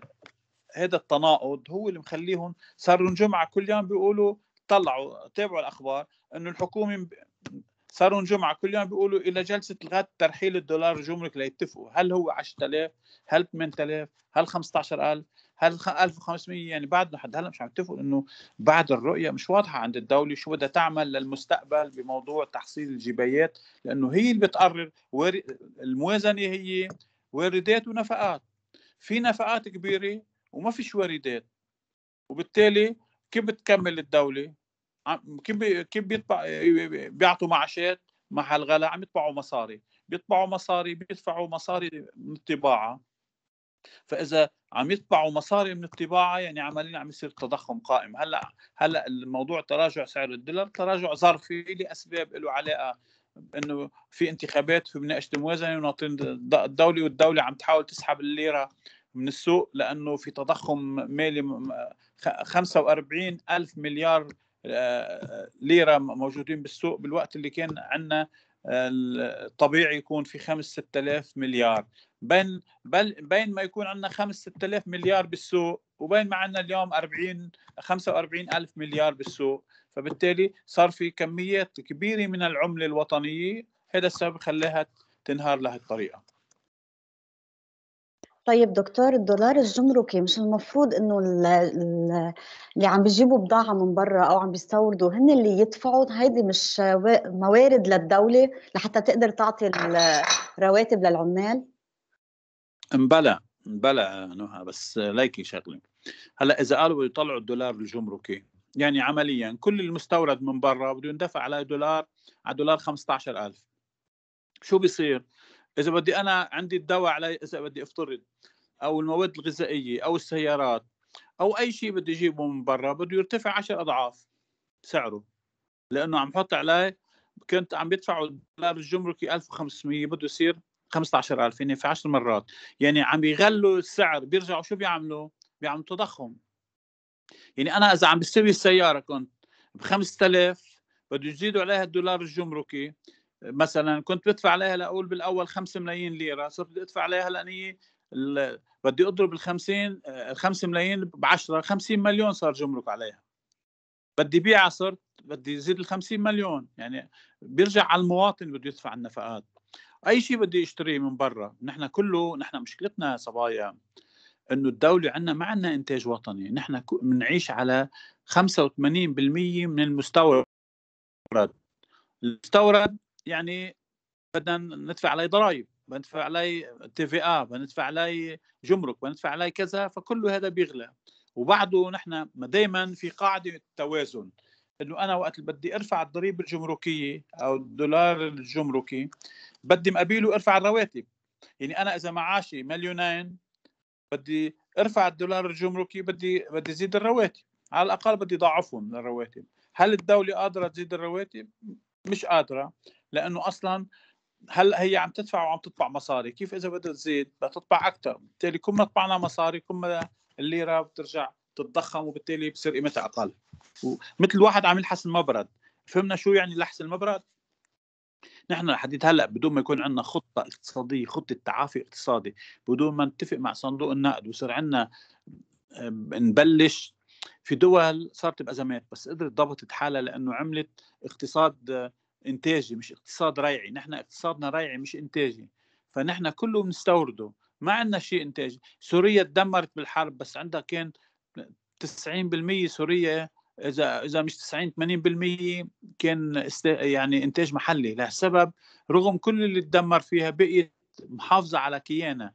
نحن نحن عندنا بالعكس نحن كله مستورد. حتى اللي كنا ننتجه نحن بطلنا ننتجه لأنه آه، بنعتبر إنه هيدا الزراعة والصناعة بدها وقت طويل لتطلع لي مال فأنا بروح على التجارة. التجارة سريعة ومن هون وقعنا بالفخ. ماشي؟ طيب دكتور على أي أساس عم تغلى هالأسعار هالقد لما هو الجمرك بعده هو ذاته يعني بعده كثير آه، قليل. إيه هلأ هلأ هون ما فيش عدالة عندنا مش بس هيك مش قصة بس جمرك عندنا نحن اليوم فلتاني هلأ ني هلأ أنتم صبايا شباب روحوا طلعوا وقت كان الدولار ب 35 وب 33 كانت الأسعار هيك. هلأ ني اليوم صار الدولار ب 20 وبعدها الأسعار زادت بعد ذاتها لأنه ما في رقابة التجار في عنا احتكار عنا عنا شركات احتكارية. بعدها هلا نيه شو عملوا مثلا بالدخان؟ مثلا الدخان عم بعطي مثال امبارح كنت عم بسأل حدا إنه بعدها علب الدخان علبة الدخان مثلا سعرها زيت وعم بقول له يا عمي ليش؟ فهمنا كان 33 الدولار هلا 20 طيب علبة الدخان لازم تنزل ثلث مثلا إذا حق حق على الدولار. قالوا لي رفعوا سعر الدخان من المنشأ قال يعني بدل ما كان لنقول الصندوق ب 60 دولار عملوه ب 75 اعتبروا اللي نزلوا هلا بالدولار هن ذاتهم اللي طلع يعني هذا في في عدم رقابة وعدم ضبط وفي جشع عند التجار في احتكار ما في سوق مفتوح ومراقب. هون عم أقول لكم إنه الدولة لا تزال هي المسؤولة لأنه ما عندنا دولة. دكتور نحن, نحن دائما استغلال يعني بطريقة التعامل.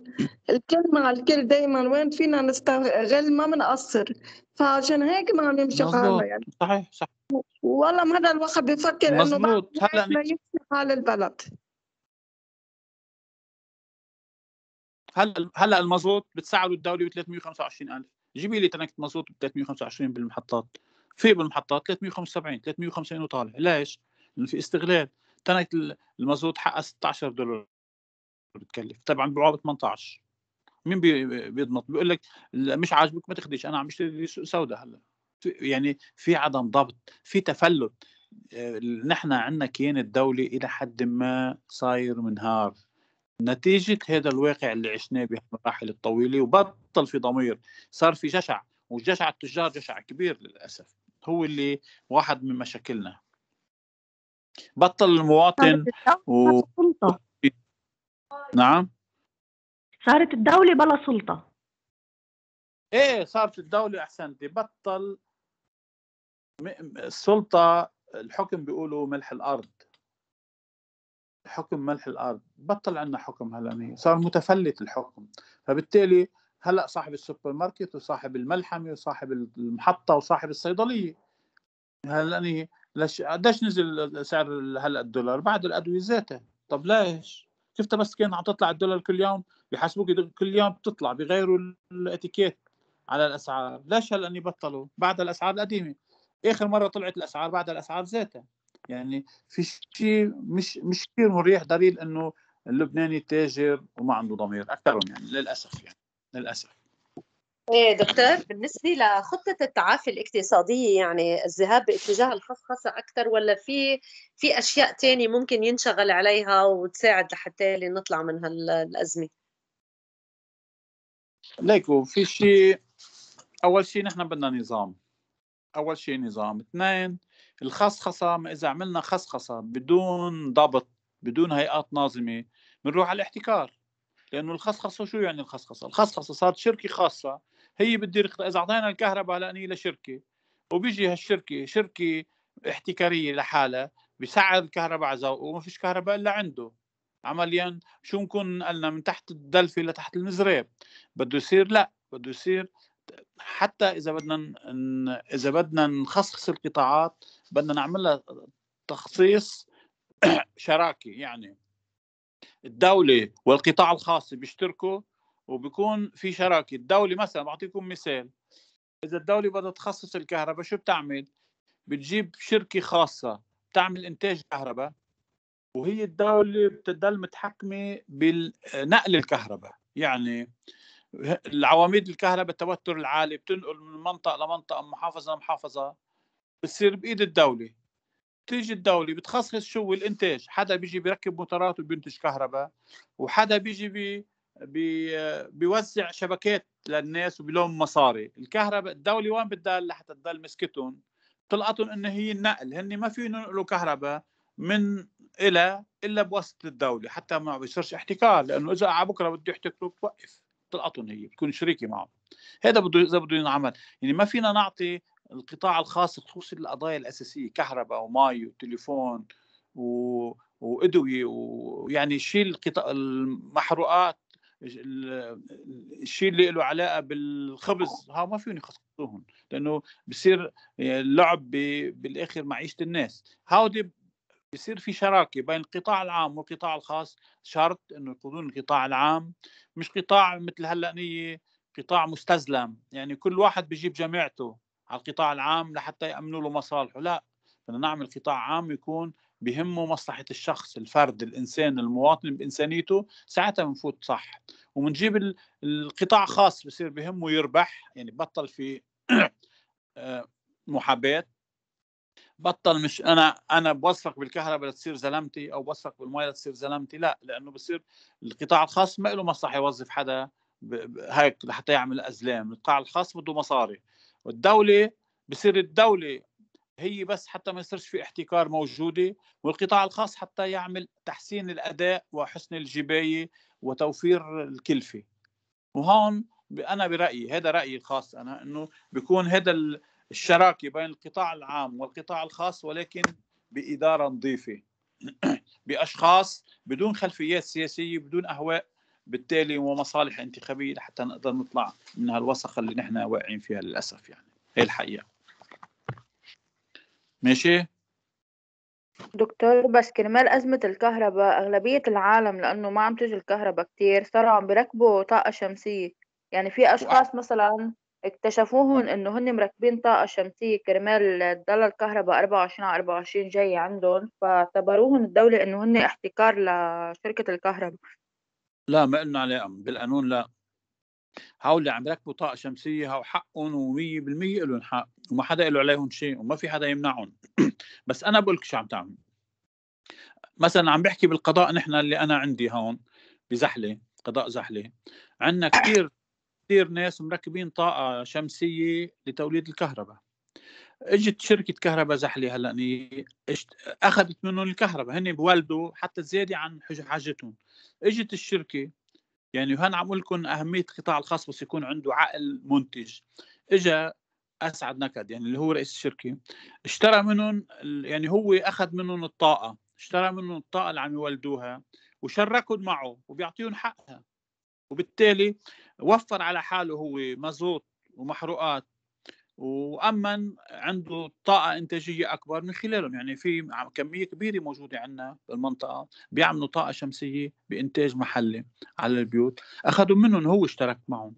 هو اشتراهم منهم الإنتاج وعم يوزعهم كهرباء للناس وببيعها هذا أمر كثير مهم. وهذا أصلا لبنان وحدة من من مصادر الحلول عنده هي طاقه الرياح طاقه الشمس طاقة البخار عندنا طاقات كثير نحن هاي كلها لازم تستعمل نعم؟ الطاقة البديلة في عندنا كثير أشياء فينا نستخدمها بدل الطاقة الكهربائية. أكيد الطاقة أكيد. الجديدة إيه. أكيد. عندنا بالطاقات كثير أنواع طاقات نستفيد منها. عندنا عندنا طاقات الشمس طاقات الرياح طاقات الهواء كلها كلها هيدين في عنا كثير شغلات فينا نستفيد منها. يعني بالشتاء من الرياح ومن الهواء ومن العواصف وبالصيف من الشمس.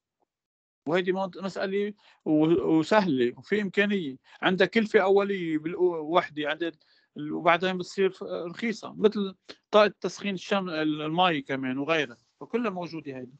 وهذا أمر هون ببلش الدولة الدولة الحديثة تشتغل. ماشي؟ نحن زركنا بالوقت صبايا. حدا عنده شيء لأنتقل للعداله الاقتصادية.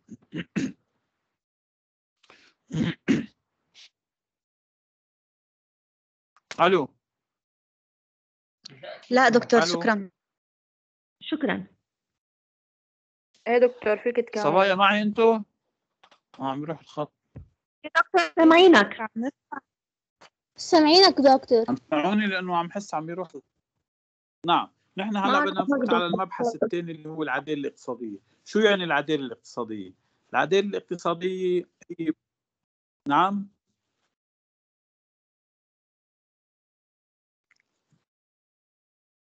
ألو؟ إيه دكتور؟ سامعينك. دكتور. سامعينك سامعينك. دكتور تكمل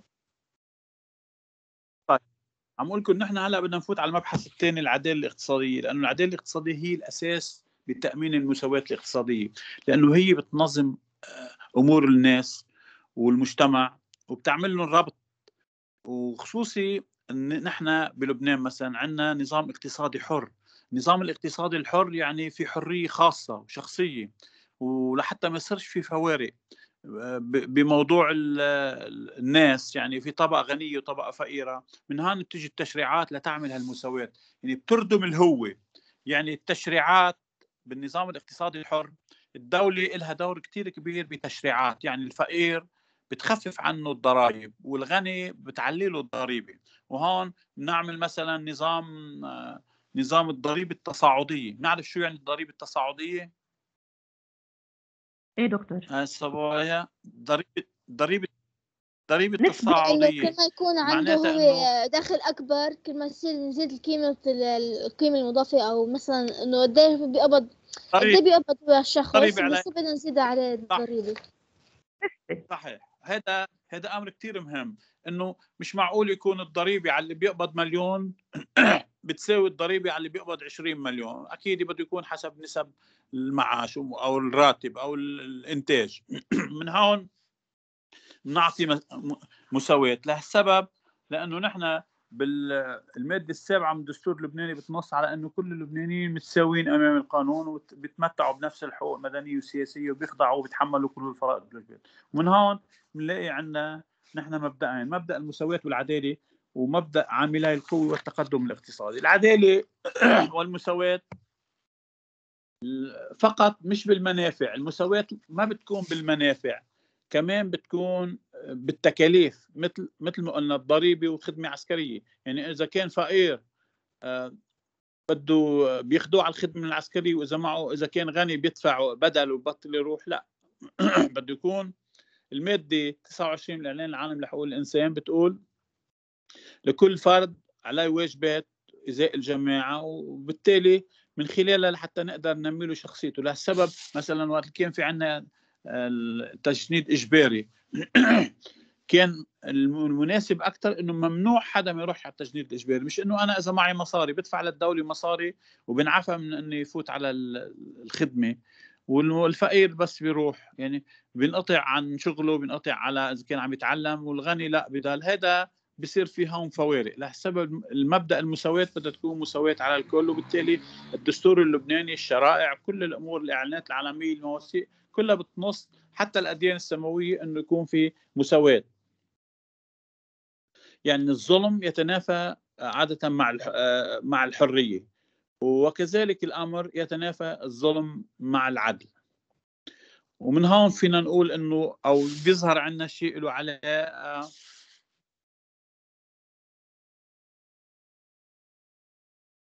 من هون ببلش يطلع عنا إنه العلاقة القوية بين الحرية والمساواة تتكامل حالما يتوفر لهم يعني للحرية والمساواة الجو الديمقراطي المناسب. إذ من الممكن أن يكون الناس متساوون تماما في ظل نظام استبدادي لكنهم مع ذلك ليسوا أحرار. يعني بيتساووا بالنظام يعني الظلم مثل ما بيقولوا ظلم بالسوية عدل بالرعية. حتى إذا ظلمنا بعض فبالتالي بيكون عدالة.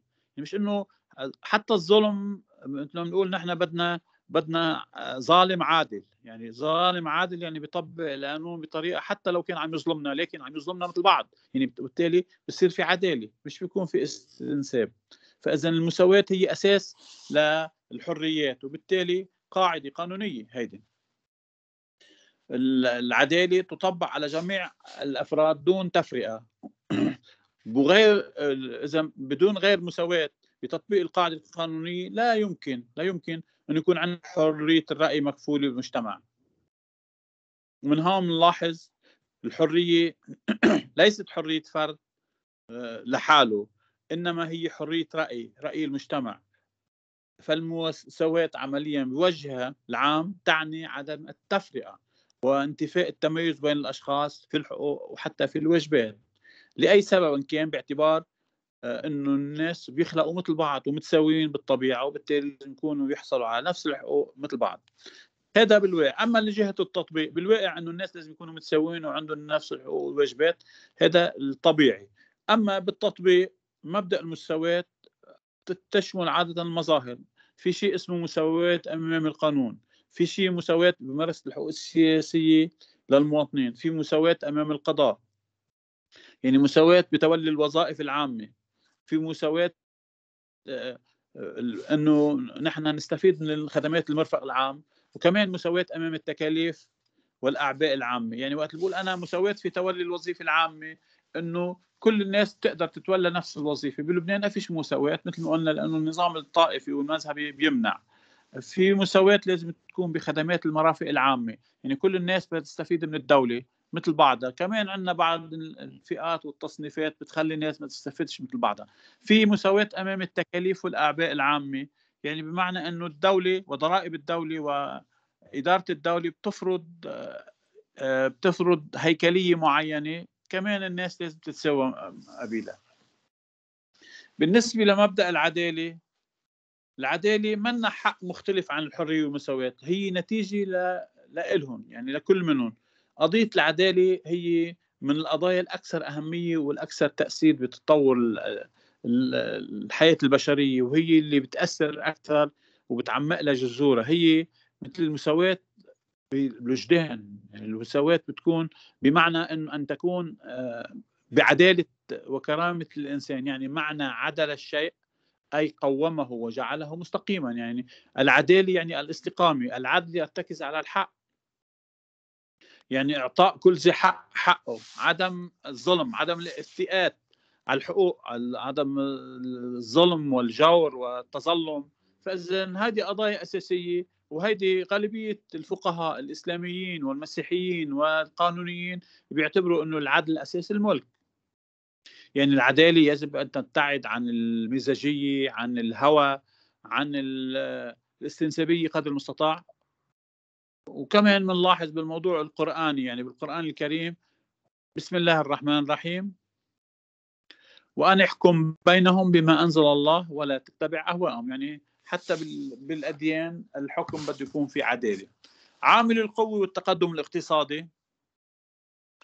العامل القوة مهمة يعني الشيء عادة القوة وسيلة لتحقيق غاية معينة بذاتها ومن الصعب إنه نشوف إنه دولة آه، تنفق أموال وطاقات لأمتلاك القوة لمجرد إنه والله بس لتستعرض قوتها. لأنه القوة أحيانا بتكون مرغوبة وموهوبة ومرهوبة وبالتالي القوة ليست مطلقة منا مطلقة بل نسبية. ما فينا نقول والله هذا الطرف قوي أو ضعيف إلا بإطار هو قوي بالنسبة لشو وضعيف بالنسبة لشو؟ الفكرة العامة إنه الدولة تكون قوية بمدى قدرتها على التأثير على الآخر أو بسلوك الآخر. ومن هون فينا نقول أنه القوة من أهم العوامل اللي بتأثر بحياة البشر وبالتالي بنلاحظ أنه قضية الحضارة الإنسانية مرتبطة بالقوة. فلولا القوة لكانت الحضارة الإنسانية مجرد حلم. يعني بالتالي مرقنا مرق علينا أقوام ودول. من هون بنلاحظ الدولة القوية بتحمي حقوق ناسها بتحوي الدولة الفقيرة بتظلم حالها وبتظلم ناسها مثل ما هو صايب صايبنا بلبنان. بلبنان التطبيق لأنه صار استنسابي. هلأ بالدول العربية أمريكا بتطبق عليهم الأنظمة تبعها اللي هي بتكون تعسفية بينما على مواطنيها بتطبق القانون صح لأنه ما بتسترجي بمواطنينا لأنه بتخضع لتوازنات. بينما بالدول الفقيرة بصير السلطة ومن يتحكم بالسلطة بده رضا الدولة الكبرى يدل حميته ومؤسساته وبالتالي بيتنازل يمكن عن كثير من عناصر قوته لحتى يخليهم راضين عنه. وبالتالي مثل ما هو حصل مثلا مع ترامب من سنتين ثلاثة وقت اجى ترامب على الخليج وكان عم بيهدد سكان آه، حكام الخليج فاضطروا يعطوه مصاري مثل ما بده ليدل بس ما يأذيهم أو يخربط لهم أنظمة الحكم. وبالتالي اضطروا انه يتنازلوا عن كل ما عندهم. ليش؟ لأنه بيعتبروه هو صاحب قوة وهو مرهوب الجانب وبالتالي ما بيسترجوا يزعلوه. فاذا القوة بهيك حالة عم تكون وسيلة ضغط وإكراه. بتعطي صاحبها إخضاع الآخر وفرض السيطرة عليه.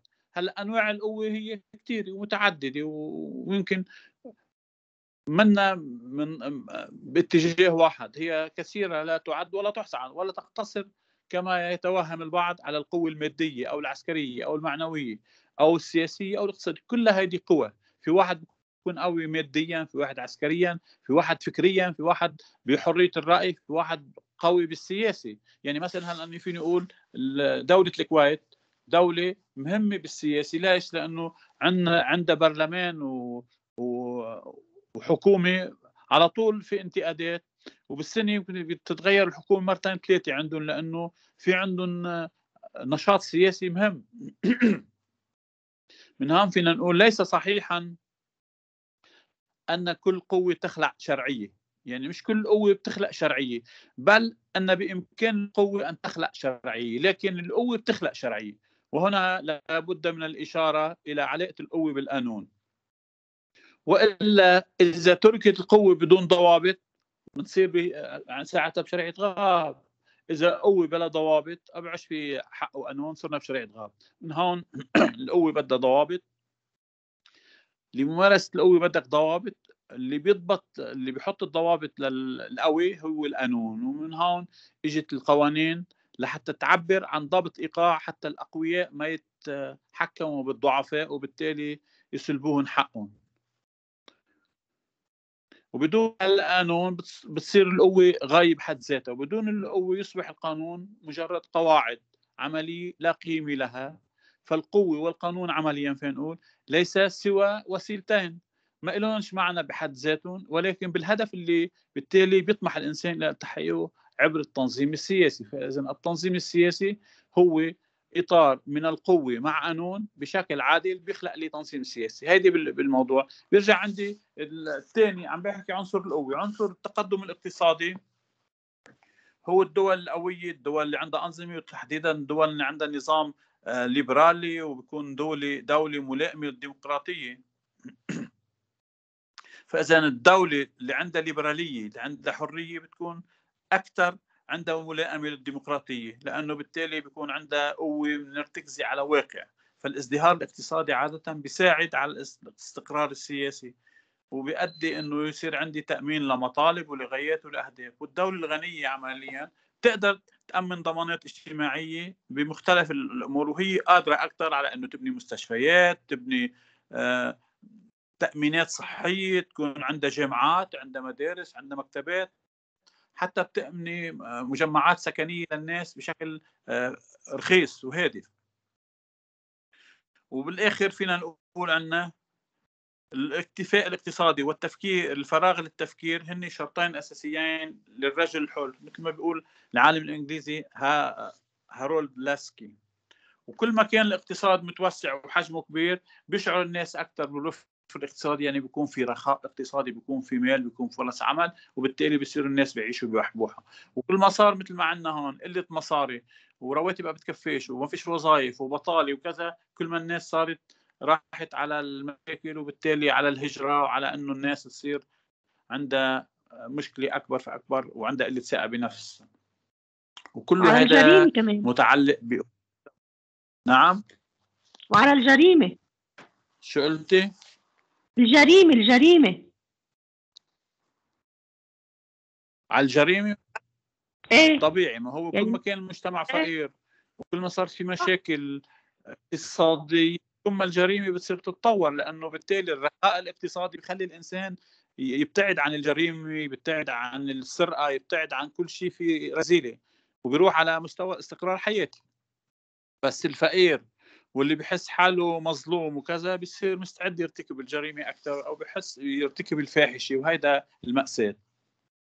كمان عندي شيء بالأخير اللي هو الت- التقدم الثقافي، التقدم الثقافي كمان وحدة من من ركائز الدولة القوية، يعني كل ما كانت الدولة فاذا قوية قوة وقوية بالتنظيم وقوية بالقانون وقوية بالثقافة وقويه بالإمكانيات، كل ما كانت الدولة أكثر عندها حرية وعندها تواصل وبالتالي بصير السلوك الإنساني مهذب، بصير حقوق الإنسان مأمنة أكثر. يعني بالدول اللي فيها حقوق انسان بتكون وين؟ بالدول الغنية الدول اللي عندها قانون الدول اللي عندها ثقافة الدول اللي عندها حضارة الدول اللي عندها مال وتقدم اقتصادي بصير الثقافة وسيلة مهمة لأنه الثقافة بت- بتدل على تطور البشرية يعني ايمتى بيروح على الثقافة الانسان وقت اللي بيكون مكتفي الحاجات. إذا واحد جوعان وبطنه فاضي واولاده جوعانين ما في يفكر ما في يتسقف ما في يقرأ. فإذا بده يكون مرتاح وباله فاضي و- و- وعنده بيت وعم يتغذى صح وعم يتأمن وعم آه، وعنده تأمين صحي وطبابي وتعليم وكذا أكثر بيروح على الثقافة ساعتها. فاذا كل ما رحنا بهذا الاتجاه كل ما كانت الدولة آه، أقوى وأحسن وبالتالي كل ما رحنا على الرفاهية. وكل ما كانت آه، نقص معرفي باتجاه رحنا باتجاه الجهل فبالتالي بيكون عندنا حقوق الإنسان عم تنهدم أكثر وبالتالي بصير عندنا إحساس إنه بدنا نروح نعمل تبعية مثل هلأ نحن رايحين على صندوق النقد. نكون تابعين لعنده لإله لحتى يشلحنا حقوقنا ويحط يحد من حريتنا ويرفض علينا شروطه لأنه بالتالي نحن بدنا مال ومش قادرين نحصل مال إلا بهي الطريقة. مثل ما بنروح نتدين مصاري بفوائد عالية وبننزل للمدين لأنه بالتالي بنكون مضطرين. ومن هون بنلاحظ الثقافة هي وسيلة مهمة لتبلور رأي عام وبتكون حجة ومنطق وبالتالي هي طريق ثقافة الدول المثقفة الشعب المثقف يعني صعب شعب قادر يصنع قراره السياسي ويشارك بفعالية وبالتالي بيكون هذا الإنسان بطل صار إنسان مهم. من هون فينا نقول الناخب العادي مثل ما بيقول العالم الإيطالي جوفاني سارتوري بيقول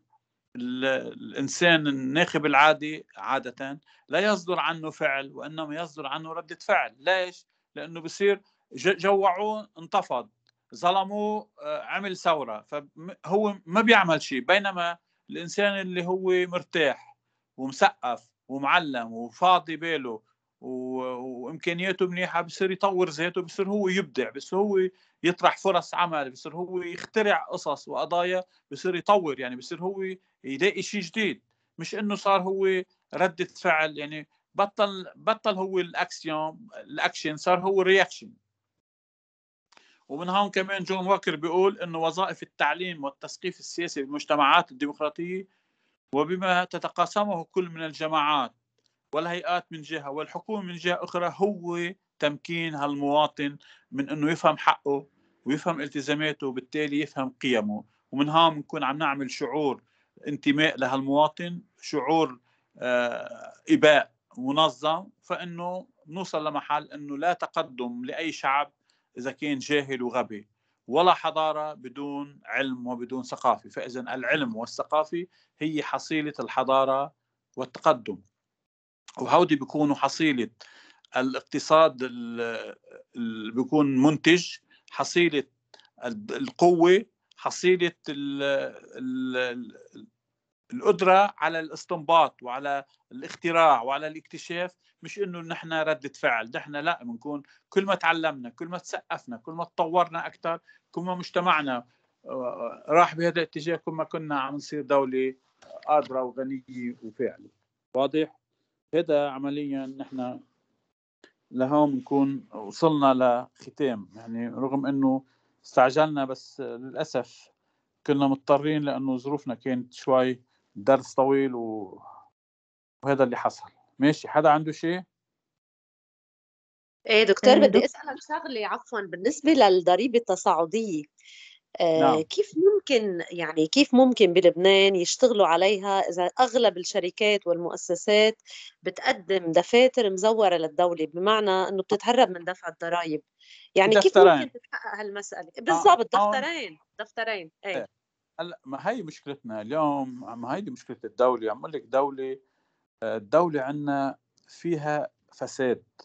ببطل يعني في دول تحترم حالها. إذا بيكتشفوا إنه في دفترين بيلغوا له الشركة إذا يعني ليش في في تفتيش قضائي؟ في تفتيش ع- عمالي. يعني في تفتيش بالضمان في تفتيش بالمؤسسات. إذا بيكتشف إنه في شيء خلل ما إذا عامل مسجلينه إنه بياخذ الحد الأدنى وهو بياخذ لنقول يعني بياخذوا الضريبة حسب الراتب بياخذوا من الضمان الضمان بياخذ حسب ما بياخذ راتب إذا واحد أنا عم بشتغل بمؤسسة بيعطوني 3 ملايين بيسجلوني عند الضمان إني بياخذ 675 ألف يعني حد أدنى ليش حد أدنى. لا لا ليدفعوا للدولة ال 10% من الحد الأدنى مش ال 10% من 3 ملايين فهمنا شو؟ هذا تهرب هون الدولة وقت اللي بتكتشف. وهي أهمية أجهزة الرقابة والضبط وبدون في ممالئه وبدون في مسايره وبدون في إيد وإجر إنه سند لي لحمل لك إنه غطي علي إنه توصى فيي إنه والله هذا المفتش نحن عيناه ب بيسيرنا بالمؤسسات تبعنا أو ب بحاسبناش على الأخطاء. يعني هون نعم نعم نحن مشكلتنا دولة منهوبة نحن مش دولة مكسورة. نحن مش دولة آه، فقيرة نحن دولة منهوبة.